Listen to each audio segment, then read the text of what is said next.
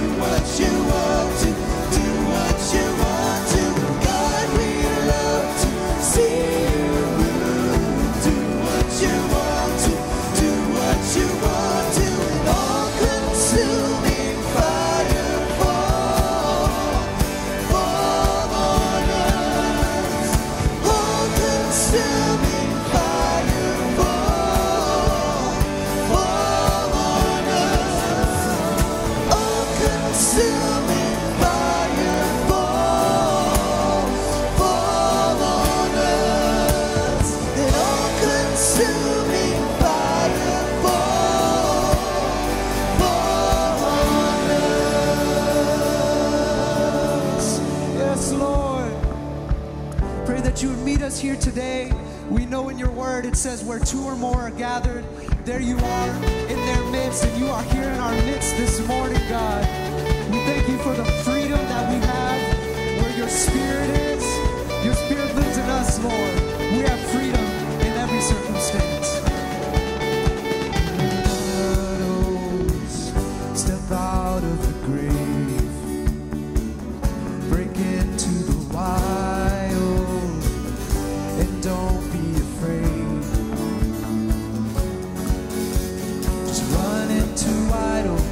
graces, graces waiting for you. Dance like the weight has been lifted. Cause graces.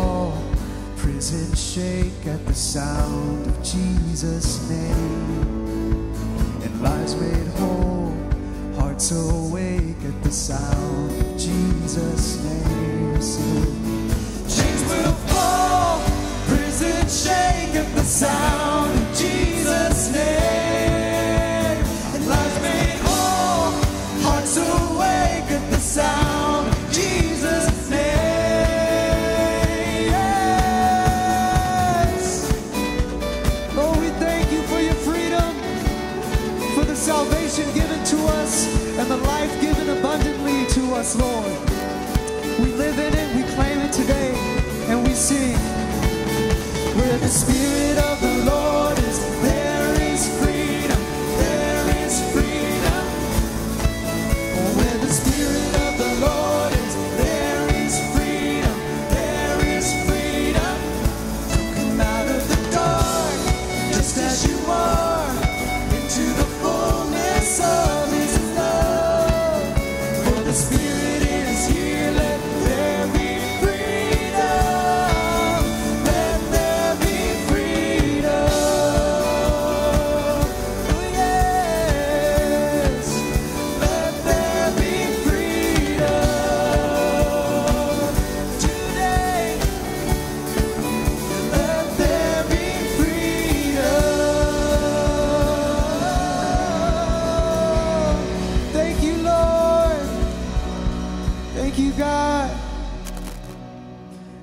Lord.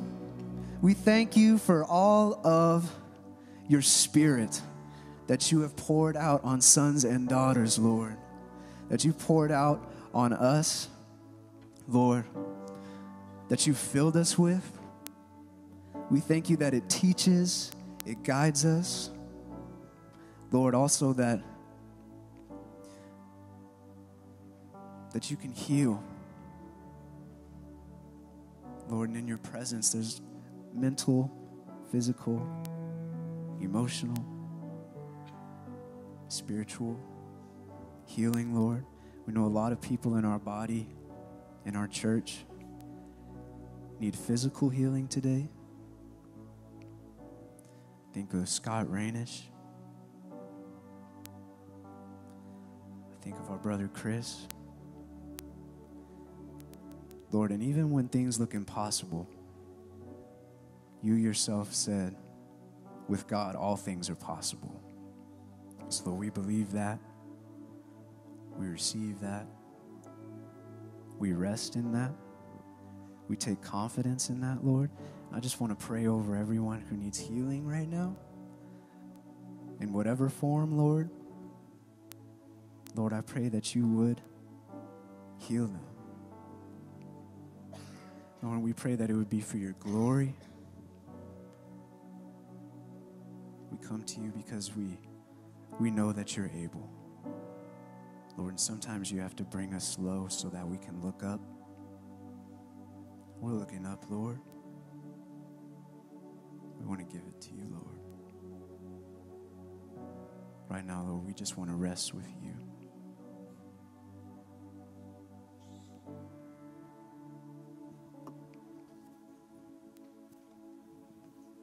So, Lord, as we sing this song, may we be reminded of you and that you are with us in every situation. Will you just sing that over yourself? There's nothing worth more that could ever come close. Nothing can compare. You're our living hope.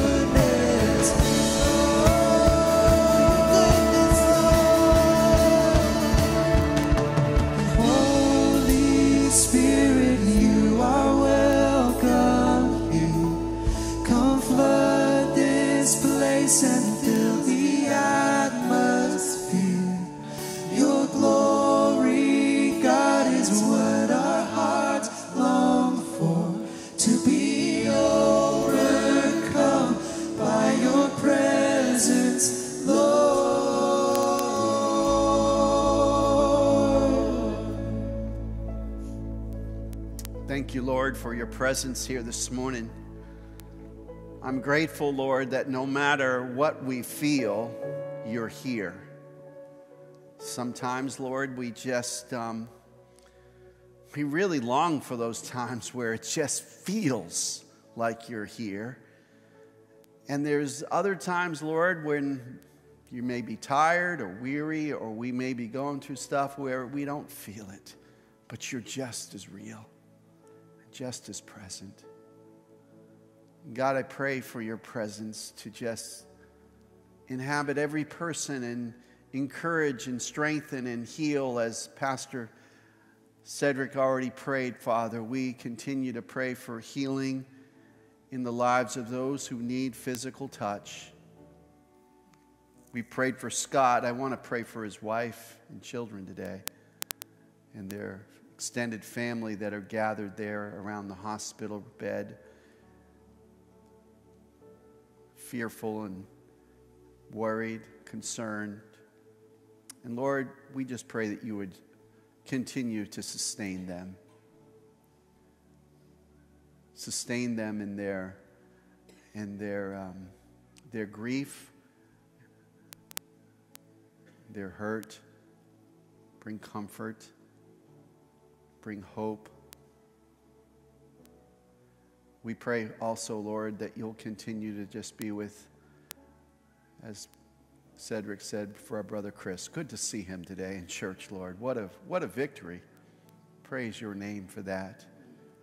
We love him and continue to ask that you would just continue to give him strength in his body as he recovers and get stronger and stronger, Lord. Thanks for a great week of children's camp. Thank you for the work you did in the lives of our, of our little boys and girls, Lord. We just thank you for that. We love you today. We pray for Pastor Kaylee and, and Josh. They're going to be leaving tomorrow, and next Saturday they're going to say, I do to each other. Would you bless them? Give them a wonderful week as they prepare for their wedding day. And then would you give them a great week on their honeymoon? And um, may it be glorious. Bless their families, I pray.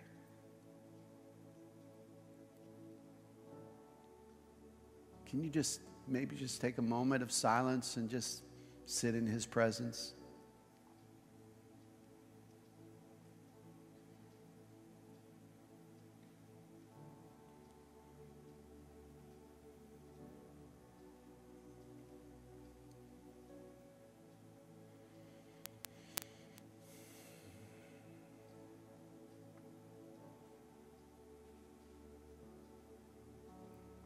Good for us just to go back and sing that chorus one more time. Holy Spirit, we need you. Let's sing together. Cause Holy Spirit, you are welcome here. Come flood this place and fill the atmosphere. Your glory, God, is what our hearts long for. To be overcome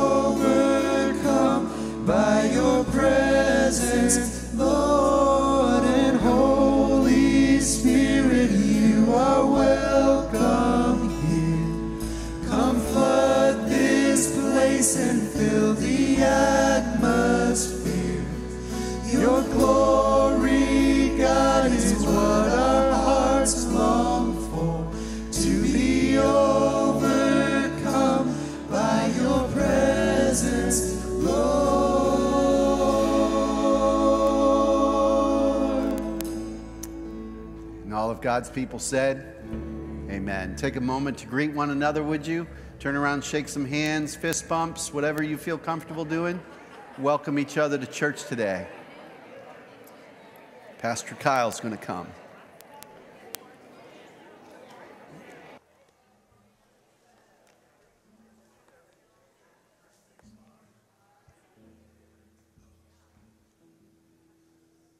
All righty. Well, good morning, everybody. Ooh, we got to try that again. I feel like every time I come up, we got to try it again. Good morning, everybody. There we go. That's what I like to hear. Well, welcome all of you guys um, who are here with us um, in house. We are so thankful that you guys are here this morning. We also want to welcome those of you who are online. Um, welcome as well. We are so glad that you guys are here. Um, our first announcement is just to um, fill out our response card, uh, whether you are online or whether you, you are here in house. Um, we would love for you guys just to be filling that out so we can just know what's going on in your life so we can be praying for you as a staff. Um, if you guys want to volunteer or whatever it may be, get involved. That is the, the one of the best ways that you guys can um, be a part of that and how we can get connected, all that good stuff. Uh, next announcement is giving. There are many ways to give here, Olive Knolls. You can text, you can um, go online, you can give in the offering box there in the back, or you can mail it in, mail check in, whatever it may be. Um, we are so thankful for all your guys' givings. Um, the next announcement is, if I can read, the Global Leadership Summit. How many guys are going to that? All righty, I love it. It's going to be awesome. It'll be here um, this Thursday and Friday, I believe. Um, we still, you still have the opportunity, if you have not signed up, to sign up for Global Leadership Summit. And I believe the cost is, Kevin, what is it? 120 just kidding it's 139 um, it is 1:39, so i very much encourage you all of our leaders and who have been here or been to a global leadership summit before encourage you guys to sign up for that because it's going to be awesome and we get to do it here together in house so um, sign up for that if you haven't already um, the next announcement is our back to school blessing um, which is going to be happening um, August 11th and 10th, I believe. We'll be going to um, a few places that our church is involved with, handing out backpacks and school supplies to um, people who need it. And so it's a great opportunity if you'd love to help out with um, setup for that as well, um, putting backpacks together. Pat, talk to Pastor Debbie. You can also give in the back whatever is needed. There's a table back there for all that good stuff. So the next announcement is there's no slide for it, but how many of you guys in here like to deep sea fish? All right, okay, a couple. Wow, no wonder I don't have any signups. All right, so um, I was told by students, by many students, yeah, I want to go, and then a lot of them are busy. So we are having a trip this week for youth. Um, which is happening Tuesday through Wednesday. But there's an opportunity for parents, families, anybody in the church who wants to go.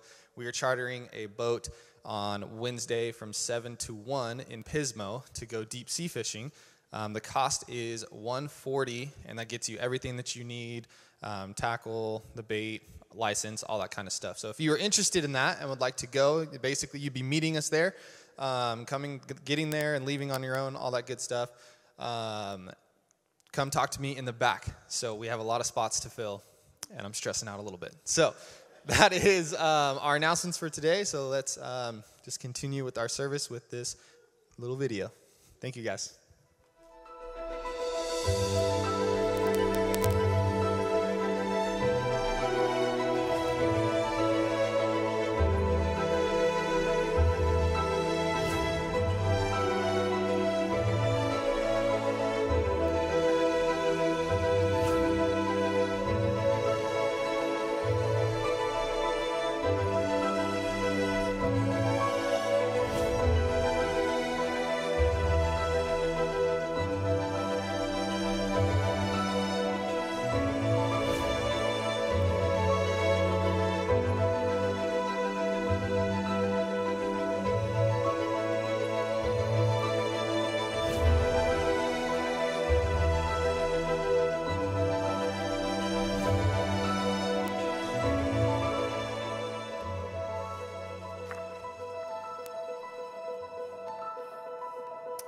Want you to imagine this morning that you, um, you're, you work at an office park or someplace where there is a, um, a trail that you could go for a walk on during your lunch break.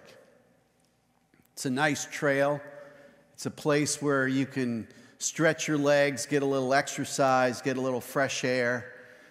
And this trail that you're, um, that you're about to embark on has several different um, different options that you can choose to go on. You could, you could take the trail that will take you all the way around this wonderful lake. You could see the ducks and kind of feed the ducks, kind of enjoy that experience. There's another trail that will take you to another spot where there's probably some, some rabbits and squirrels and other small wild animals that are just there in the fields, and you could enjoy that. And you do this on a daily basis. Every day you go and you enjoy a nice little walk. You don't have a lot of time, so you, you, you usually take the path that is that, that you kind of know. It's kind of a path that's well worn. Other people have done it.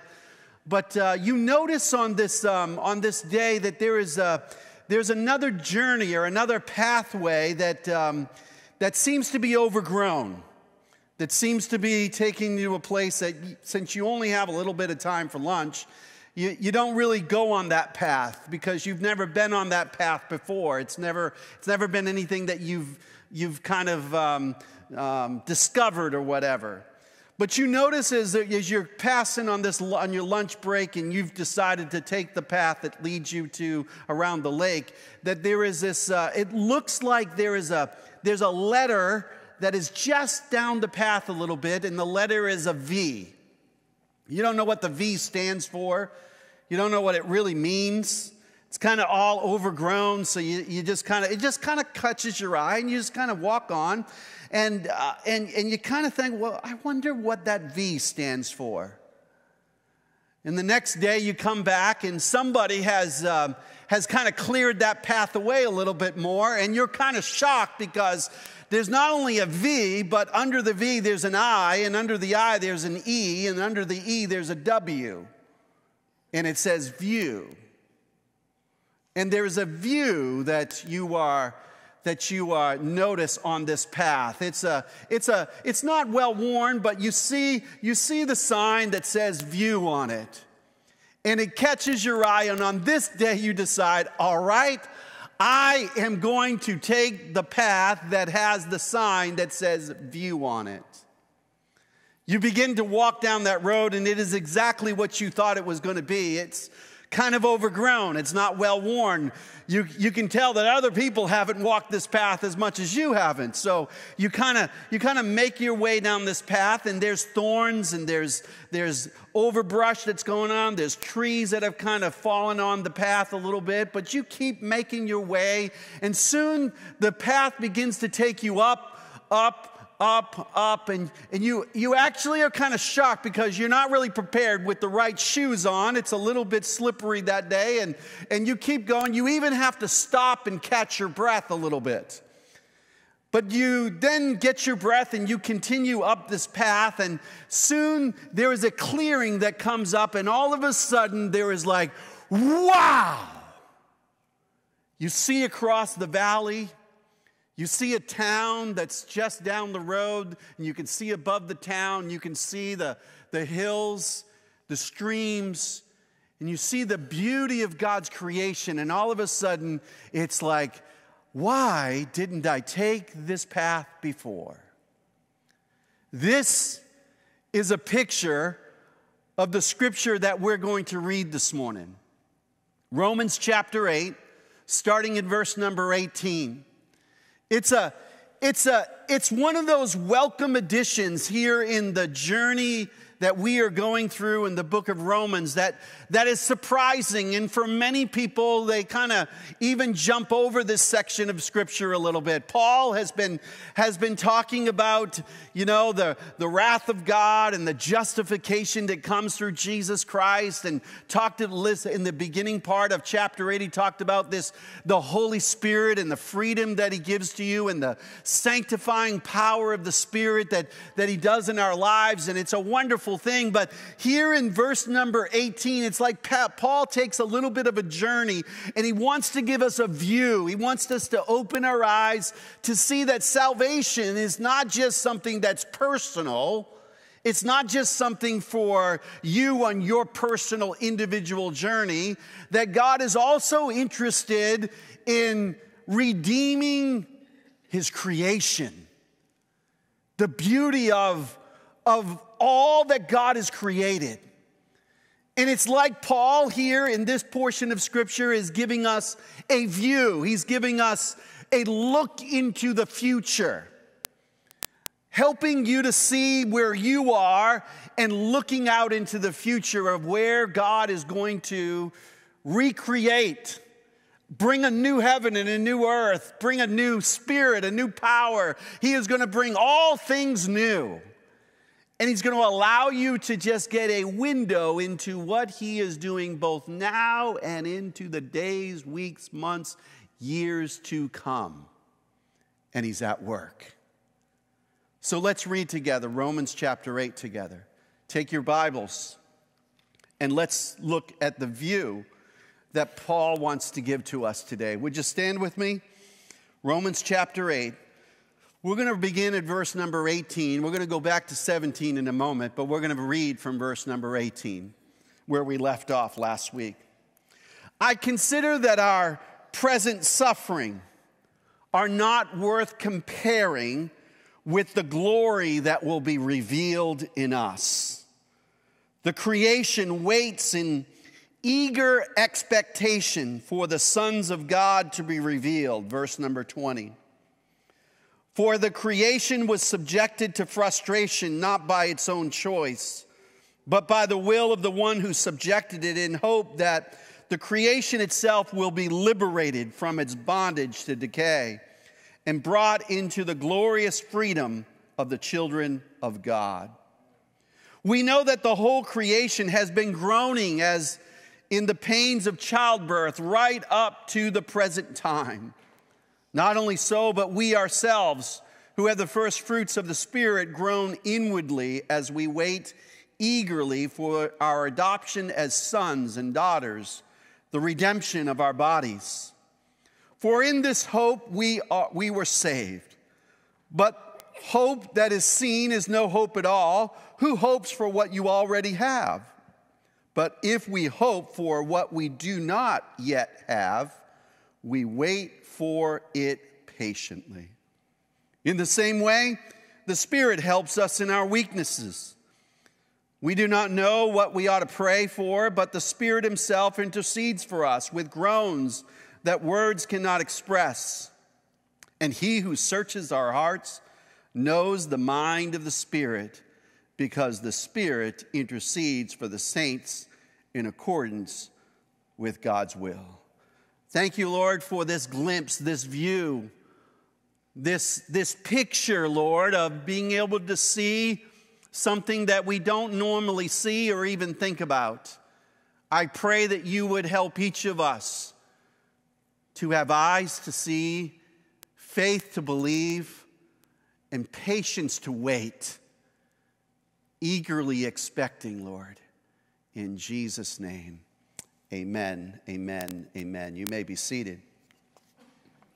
Paul is moving from talking about that, that present ministry in, in, in, in Romans chapter 8, verses 1 through 17, where last week we talked about the freedoms that we have. And I'll just remind you of where he was. He was talking about this freedom that we have through the power of the Holy Spirit to live a life pleasing to God in this life. That we can, that God not only did something for us, He wants to do something in us. And the work that He does in us is the work of the Holy Spirit. The Holy Spirit is the one that transforms, that sanctifies, that cleanses, that renews, that transforms us from the inside out. And we even learned last week that we no longer have an obligation to the, to the old sinful nature. We no longer obligated to actually live the old way, but we are actually, because of the Spirit of God, we have an obligation to, to live a life and to please God by fulfilling the law of God that He provided all the way back at the time of Moses. That that law that brought death was now being, being, being used in a powerful way through the Spirit to allow us to have life and life everlasting, that we could love God with all of our heart, soul, mind, and strength, and love our neighbor as ourselves. That we have this new identity. And, and in, the, in the last few verses of last week's message, we talked about that we could actually praise God and we could sing out, Abba, Father, Abba, Daddy. And His Spirit, the Holy Spirit, would witness with our spirit that we are His children, children of God. And he actually ends this whole section. He says in verse number 17, he says, Now, if we are children, then we are heirs, heirs of God and co heirs with Christ. Could I just tell you that's huge? this is huge. You are not only, you are not a second class citizen in the kingdom of God. You actually get to sit at the table of the King of Kings, of, of God the Father, with God the Son and God the Holy Spirit. He considers you his children. We are the children of God. We have been adopted. We have been bought, gra- grafted in. We have been, we've been, we've been treated as if we are co heirs with Jesus Christ. And it says, if indeed we share in his sufferings, in order that we may also share in his glory. It's this, it's this, we are living in what, what I call the in between period of time.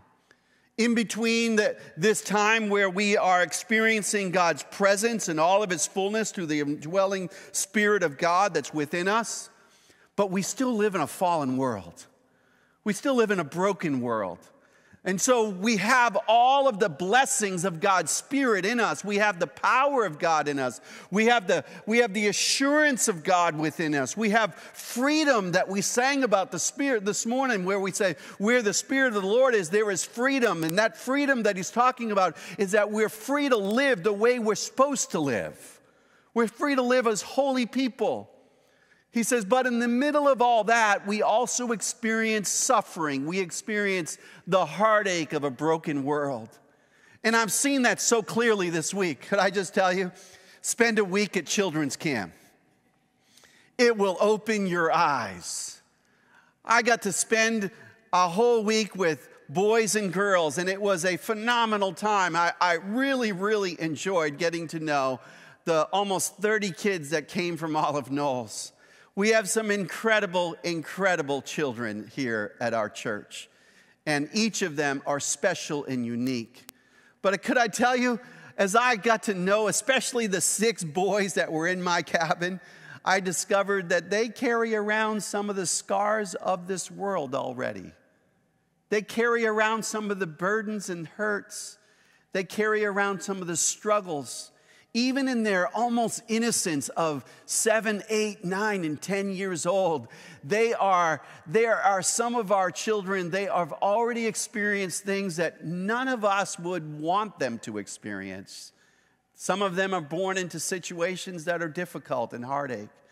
And they, they are experiencing sufferings. But in the middle of all of that, I also discovered that God the Holy Spirit was present and He was moving in such a way that their lives were beginning to change. I saw them sing and praise God with all of their heart, soul, mind, and strength. I saw them raise their hands. I saw them respond to the call of God in their life. And I saw seven of our I don't know, 15 boys came, received Jesus Christ as their personal Lord and Savior this week. It's pretty cool. They enjoyed God's creation. They enjoyed, they enjoyed, you know, zip lines and they enjoyed canoeing and they enjoyed seeing a bald eagle, literally a bald eagle flying over the lake. And it was just like stunning. And you could see all of the kids going, wow. In the middle of all that, God was present. And you see the tension that happens as we live in this in between period in time. We are living in a time where God has poured out his son, Jesus Christ. He has poured out the Holy Spirit upon us. We are living in the time between the first coming and the second coming of Christ, between, between the, the glory of his presence, which he calls the first fruits of his spirit, and the anticipation of our final and complete salvation that's going to happen. And we live in, the, in that time in between those two. And the scripture says that we share in his sufferings in order that we may also share in his glory. Amen. And there really is, as human beings, at least as far as how we experience, you cannot experience glory without experiencing suffering. Here's what I've one of the things I've learned over my years of life God is closer in my sufferings than he is in my mountaintops. He's closer. He's more, he's more, he does his greatest work in our life of refining us, of making us, of transforming us, of, of, of, of shaping our lives in such a way that we actually become more and more like Jesus Christ when we go through the fire of life, when we go through the trials and tribulations and sufferings we draw closer to Him, and He draws closer to us when we walk in our sufferings. So we share in His sufferings that we may also share in His glory. But notice what Paul says here in verse number 18 as he takes us down this journey, this, this pathway of helping us to see a view. He says, I consider I can imagine Paul considering. Remember, if you think back on Paul's life, prior to him writing this letter, He had been shipwrecked. He had been beaten. He had been left for dead. He had been tried, they tried to assassinate him. They tried to kill him. He had been to the place where he was hungry. He was lost. He was in jail. I mean, he went through all kinds of sufferings. You think you've suffered. You probably, most of us haven't even close to gotten through what Paul had to go through in his journeys. He says, I consider, or, or the, the King James Version says, I reckon, I reckon that, uh, that our present sufferings are not even worth comparing with the glory that will be revealed in us. In other words, they're not even, you shouldn't even compare them. They're not even comparable that the sufferings that we are experiencing on this planet in this time and period where, where sufferings and glory are kind of happening all together, where we're living in this in between time, it says you really can't compare our present sufferings to our future glory. Our future glory. And one of the things I was thinking about this week as I was preparing for this message, and tell me, tell you something, it's kind of interesting that you try to prepare a sermon at children's camp. First of all, you're on 24 7. There is no break. There literally is no break. You are dad all week long.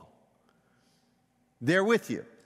I had one little guy everywhere I went, he was right there. Everywhere I went. It's like, oh, there you are again. Whoa, there you are again. There he is. I tried to get away, try to have a moment in the bathroom. There he was, outside the bathroom. He was my little buddy. By the way, I discovered he doesn't have a dad. He has no male companionship in his life. That's why, men, we need you. The church needs you. The next generation needs you. They need you to step up, not only for your kids, if you have kids, but other kids who don't have dads. Take them to a ball game. Spend time with them. Go fishing with them. Go to children's camp with them.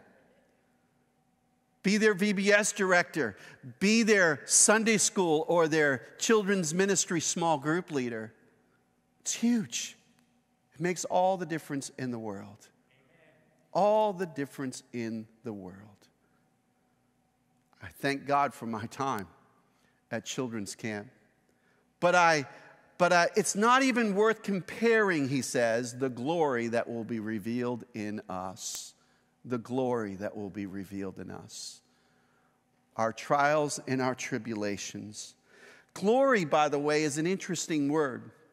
When we think about the word glory, I was, I was looking at uh, one guy who said this about glory. He says, Paul uses the word glory. It's an abstract noun describing a quality possessed by a person or a thing that metaphorically shines has great weight on it. The verb form, which is to glorify or to give glory, involves recognizing or praising one who possesses glory. It is not to give something he or she does not already have, but only to acknowledge it. Sometimes around church here, people will say to me, Hey, boss, hey, boss. And I want to say, I'm not the boss. But it's almost a way to to give respect. You're pastor, you're our pastor, you're the one who's in charge. And so it's a, it's a, it's a way of honor. You know, it's a way to it's a way to allow them to have honor in their lives. We sometimes use the word to uh, to give honor. For example, we might refer to an unusually intelligent person as bright or brilliant. We might say a job well done is a shining performance. We may refer to celebrities as stars or bright lights, or speak about an important student leader as the big man on campus, or speak of use of the power of influence of throwing one's weight around. Well, God deserves glory. Why? Because He's glorious. He's glorious. He deserves all praise and honor and glory. And there are times when you look around His creation and you are blown away. You're like in awe of God. That's the glory, the glory of His majesty and His oneness. And the scripture tells us that the glory that will be revealed, and notice what it says in us. In other words, you and I will actually participate in the glory of God someday. We will actually see his glory and we will actually we will actually derive our glory from his glory. We don't have any glory in ourselves because we are created, but He is the creator who has made us. And when we are in right relationship, when it's all done and over, and we are fully re- redeemed by, by all that He does, the scripture says you will experience His glory. I was thinking, I wonder if there's anyone in heaven that would really want to come back to earth? I don't think so. I mean, can you imagine getting to all of the glory and wanting to come back here? Even though they miss you, they're waiting on the other side for you. Amen. They're not coming back and they have no desire to come back because it is absolutely splendid. And God says it's not even comparable. So I just want you to just take a moment to just reflect on your present sufferings. And then instead of comparing it to your future glory, contrast it with your future glory. It is marvelous. Amen. That's why sometimes when I sit at the bedside of somebody who's very sick, you know what they say? I'm ready to go. I, I really have greater desire to go than to stay. Oh, there's some longing to stay, but going is far better, especially when you know the Lord and you know that this body is temporary.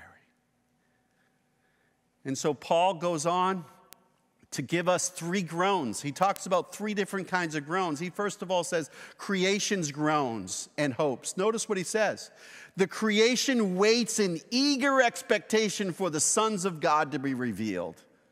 The creation itself, he's talking about the creation of God, is actually eagerly expecting for the day when Jesus Christ comes back in all of his fullness, when those who have been redeemed by the by the blood of Jesus Christ, that's us as the humans who have been made his children, his sons and daughters of God, that we are actually have our full redemption of all that God promises us through his redemptive power, that our bodies are redeemed, that the that creation is eagerly expecting that day. It's longing for it. For creation, he says, was subjected to frustration, not by its own choice, but by the will of the one who subjected it, in hope that the creation itself will be liberated from its bondage to decay and brought into glorious freedom of the children of God. Catch this creation is frustrated. I think we're aware of that, aren't we? Got home Friday and I watched the NBC News Friday night. You know what three of the major stories on the NBC News were? Let me tell you what they were fires in the West, floods in the East, heat all over. You can't watch the news without the news reporting on creation. You can't watch the news without hearing about floods, earthquakes, tornadoes, storms, rain, whatever it might be, it's like all of God's creation is going, This is something wrong. There's something wrong. And those who do not have faith or understand that God is the creator of all, they want to scientifically figure it all out. And I'm not opposed to that, but they leave God out. Creation groans. It has been subjected to frustration by not by its own choice, notice it. It's not like creation says, I don't, I, I don't, I want, I don't want everybody to have enough water and I don't want to have, I want all the storms to be easy. It's not by its own choice, but by the will of the one who subjected it. In other words, when human beings, which was God's ultimate creation, when he created you and I, he created us in his image, put us in a garden that was perfect put us in a place where it all worked perfectly together. And man violates God's laws, falls, and as a result, the creation itself is subjected to the curse that man is also subjected to. It's like creation begins to cry out. You can see that by, I don't have a lot of time today, but before the fall of man in Genesis 1, you can see God says, I give you every seed bearing plant, uh, uh, plant, on the face of the whole earth, and every tree that has fruit will seed it. They will be yours for food. And he goes on to talk about how, how everything was so beautiful. If you read Genesis chapter 1, every day God creates something new, something new. And on the seventh day, he rests. And after the sixth day, before he rests, he actually says it was very good. In other words, all that he had created was good. And man was there in the garden.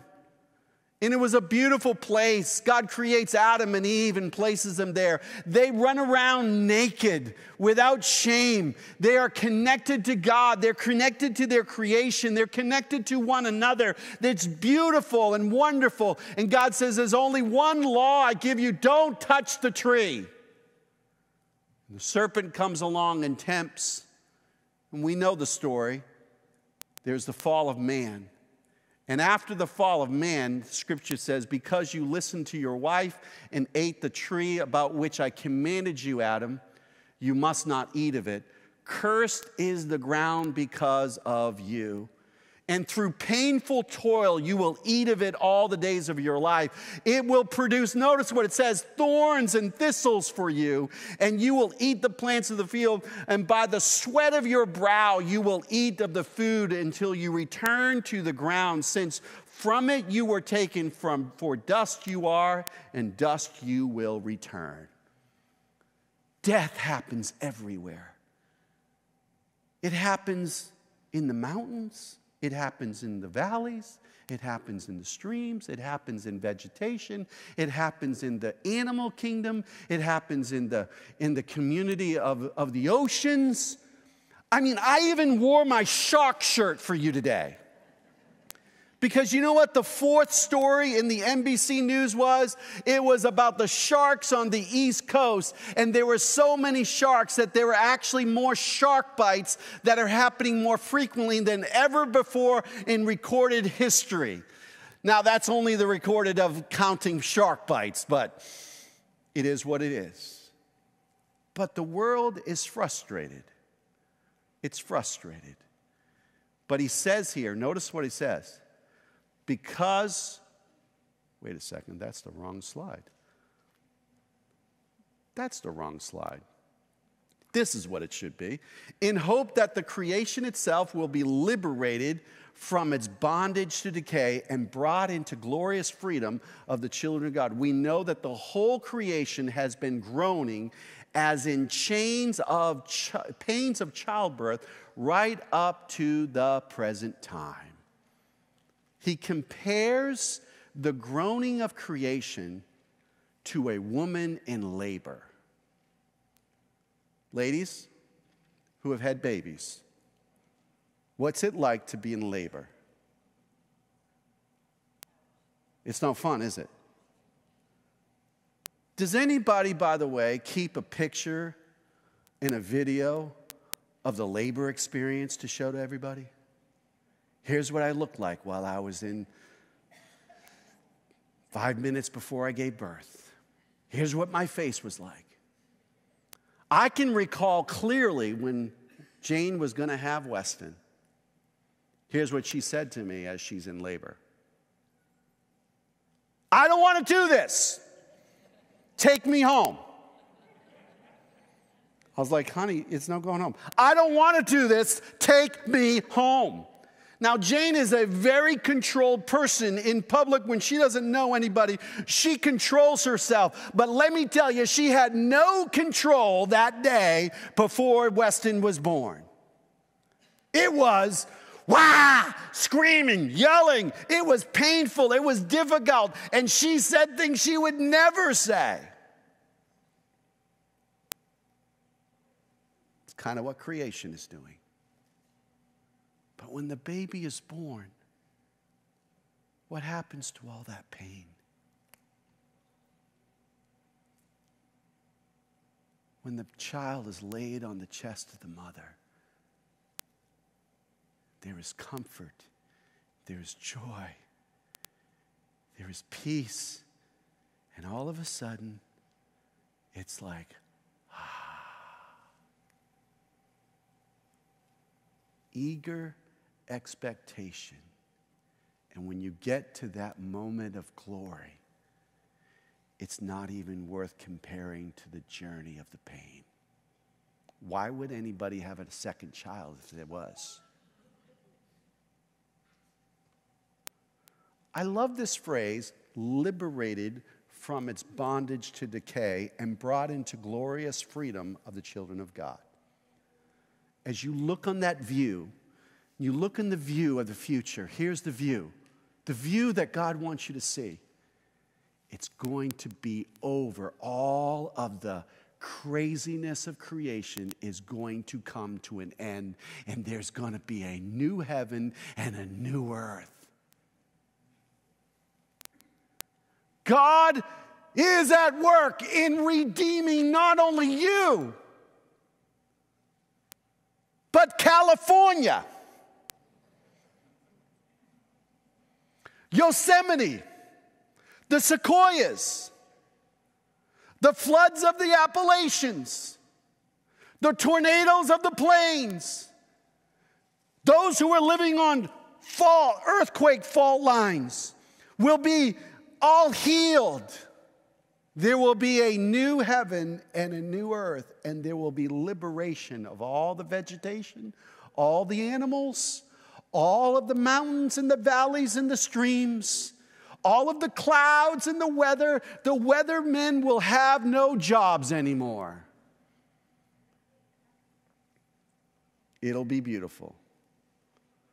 Well, he goes on to talk about human groans. And notice what he says. Not only so, not only so about creation, he says, but we ourselves who have the first fruits of the Spirit, what do we do? We groan inwardly as we what? As we await the adoption of as sons, the redemption of our bodies. I just got to tell you this. Every one of the boys and girls who are born into this world with birth defects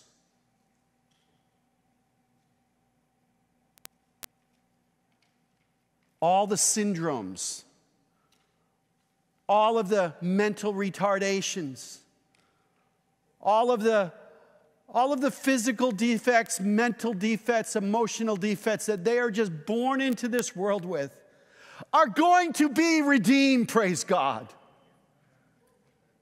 There will be a day when, when, when those who suffer with Lou disease or muscular dystrophy or who have who've had a stroke like Scott Renish, and probably if he survives, and we pray he does, he will have a long, long journey to recover to some measure of life, but he'll never be the same.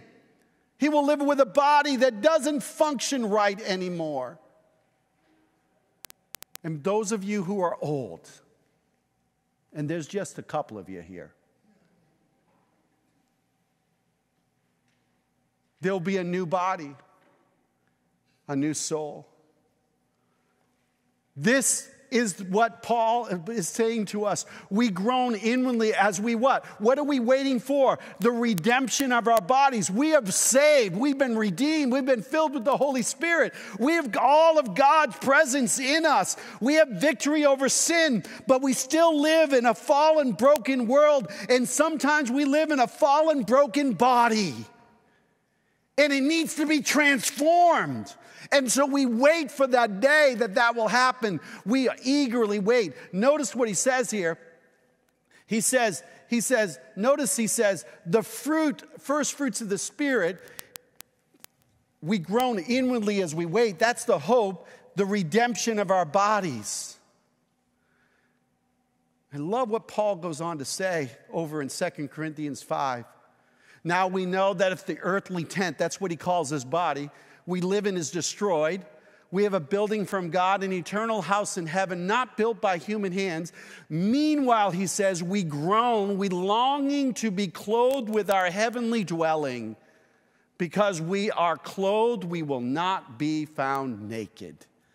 In other words, we will go back to the original creation of God when we were in Adam and Eve, and there was no death, and there was no shame, there was no guilt, and there was complete openness. God is going to do that. I love this image. We are waiting on our tiptoes, leaning forward. We are eagerly anticipating we see the future. We can't quite touch it yet. We can't quite get there. We can see the view, but we're up on the railing and there's a large cliff and there's a valley over there. And we're looking at the view and we're going, Wow, God, I can see the day. I can see the day when all things will be new.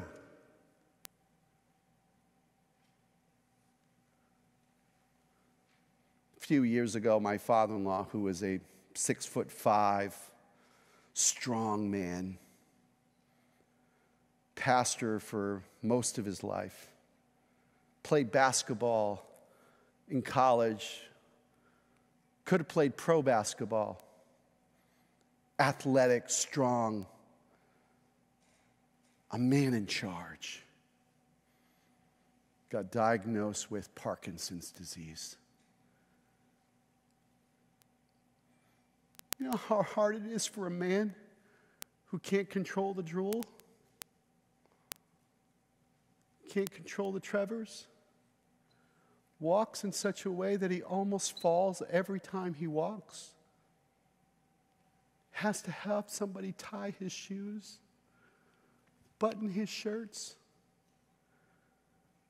Cannot control himself when he goes to the bathroom?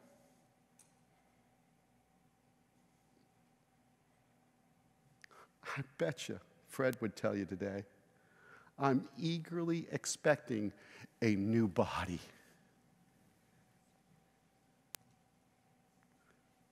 He's on his tiptoes. He's leaning forward to the day when he'll be set free from this.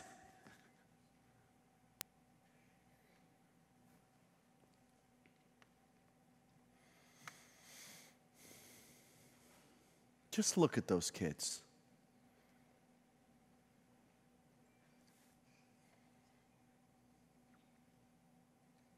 Such potential in a broken world.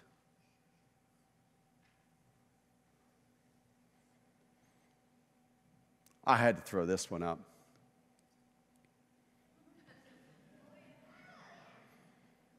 These are my six boys.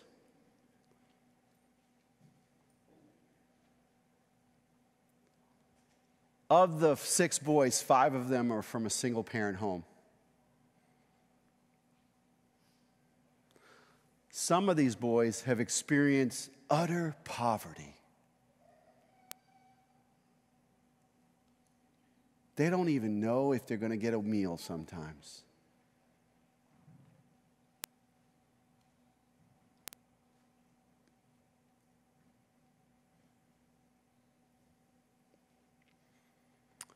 For in this hope we are saved, but the hope that is seen is no hope at all. Who hopes for what is already has? I love what he says here. But if we hope for what we do not have, yet we wait for it patiently.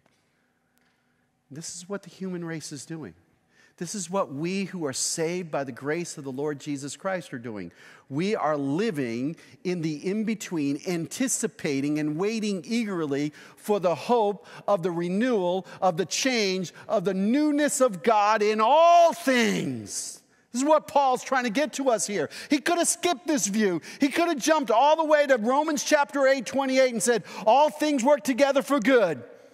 But right here, he's taking us down a path that nobody wants to go. And we're seeing the groanings of the creation itself, the groanings of human beings, yet who have been saved, who have been redeemed, but who still experience what it means to be human and all of its fallenness.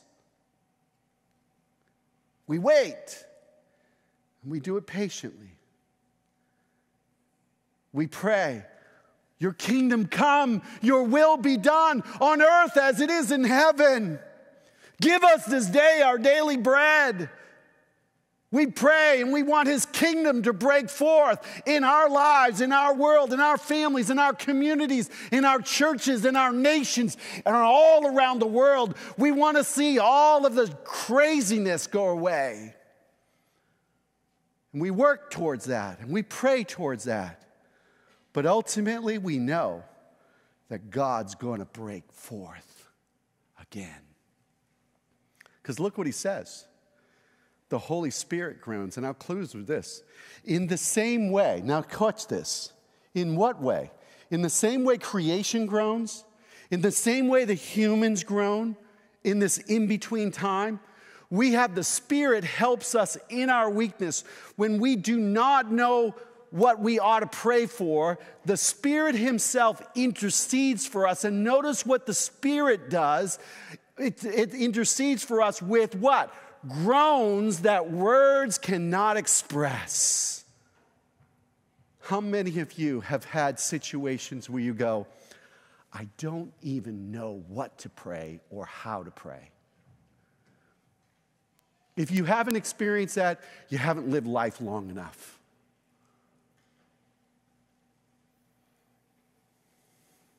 Had this one guy in my church when Weston was newly born. He would come up to me and he'd say, I'm praying for healing in Weston's life. I'm praying that the downs will just go away. And I looked at him, I was like, I want to smack you. I want to punch you right in the nose. Get away from me. Because that's not going to happen. So today, I eagerly anticipate and pray.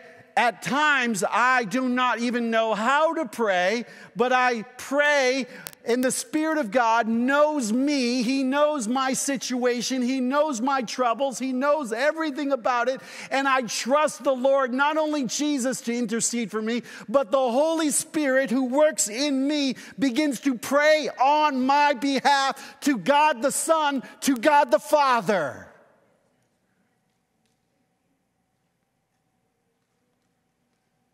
He groans. He groans. This is not just some heavenly language, but he actually takes the pain, the heartache, the, the confusion, the, the lack of understanding of how do I live in this broken world with things I can't make sense of. How do I live in all of that? And God begins to take it and he understands because he knows all things and he sees the present, the, the past, the present, and the future all together. The Spirit. When I don't know how to pray, the Holy Spirit groans on our behalf. Whew. But he doesn't end there because here's how he ends. And he, the Holy Spirit, by the way, some versions translate this he as Father. I disagree with that. I think he's talking about the Spirit here. He, the Holy Spirit is not a force, it's a person. It's the third person of the Trinity. He who searches our hearts. What is the job of the Holy Spirit? To search you. Okay? He searches our hearts and knows the mind of the Spirit. I love it when the scripture says this that the Spirit witnesses with our spirit that we are the children of God. So the Holy Spirit gives us assurance that we have been redeemed, we have been saved, we have been sanctified, we are His children. And we know that we know that we know because our spirit connects with the Spirit of God and the Spirit connects with each other. And there is, there is unity, there is connection. And so when the Spirit moves in your life and the Spirit begins to search you, all of a sudden the Spirit can sing for you, the Spirit can speak through you, the Spirit can comfort you, the Spirit can guide you, the Spirit can teach you. But the Spirit is what works in your life. It's the second person, the third person of the Trinity who makes Jesus known to us. And I love what he says because the Spirit intercedes for the saints. You know who's interceding for you? You're the saints. The Spirit is always at work on your behalf. Even when you don't ask, He's there. In accordance with what? God's will. Not working your will, it's working His will. Stand up, would you? Get on your tippy toes. If you can. Don't fall over if you can. Put your hands out like you were holding onto a railing. Can you see? Can you see the glory of God? In the middle of all the groanings of earth and human beings and all of the groanings, you see the Spirit at work in redeeming. It's going to be okay. It's going to be okay. Just wait. Just wait.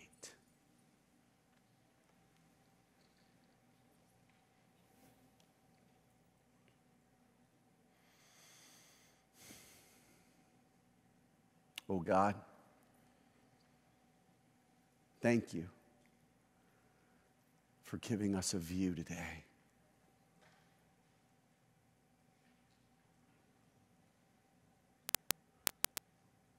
Would you remind us to take the path that sometimes we don't take?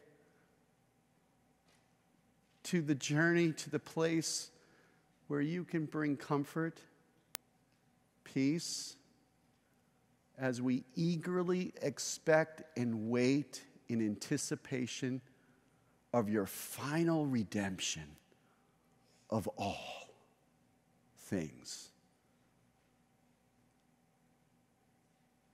Your creation, our human bodies, our relationships, the nations of the earth, May the Holy Spirit, which is a deposit guaranteeing what is to come, continue to intercede for us as we journey to that final day when we are glorified. Glorification in God Almighty. We praise you today. In Jesus' name, amen. God bless.